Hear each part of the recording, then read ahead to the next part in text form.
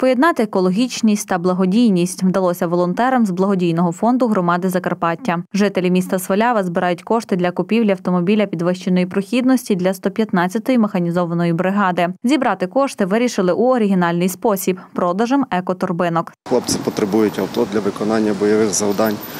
Тому вже 20 вересня ми оголошуємо збір на це авто і в рамках цього збору випустити отакі екосумки. Незабаром стартує їх продаж і всі вторговані кошти плануємо передати на купівлю цього авто.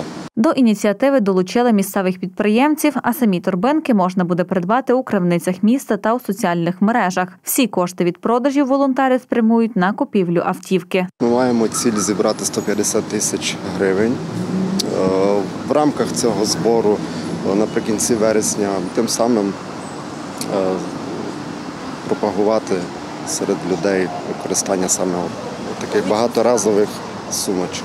Окрім благодійної справи, розповідає пан Сергій, мають на меті впровадити серед жителів громади свідоме використання пластику та поліетилену, адже торбинка багаторазового використання. З огляду на, на таку от ініціативу на законодавчому рівні о, і враховуючи те, що в нас з довкіллям дуже такий от стан поганий, дуже багато засмічень, і потрібно рухатися в тому напрямку, щоб зменшити використання пластикових пакетів. Тому і виникла ідея е, продавати саме такі екопакети. Волонтери Свалявщини тісно співпрацюють з Мукачівським територіальним центром комплектування та соціальної підтримки і разом закривають потреби наших захисників. В першу чергу ми забезпечуємо е, транспортними засобами підрозділи, які виконують бойові завдання.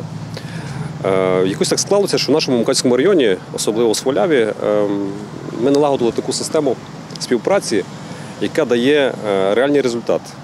Ми поставили дуже багато техніки, обладнання. Військові зараз потребують автомобілів високої прохідності.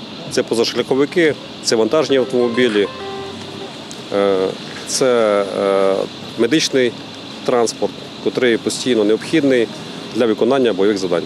Екоторбинки виготовляють швої на благодійних засадах, адже кожен намагається зробити свій, хоч і маленький вклад у підтримку наших сил оборони.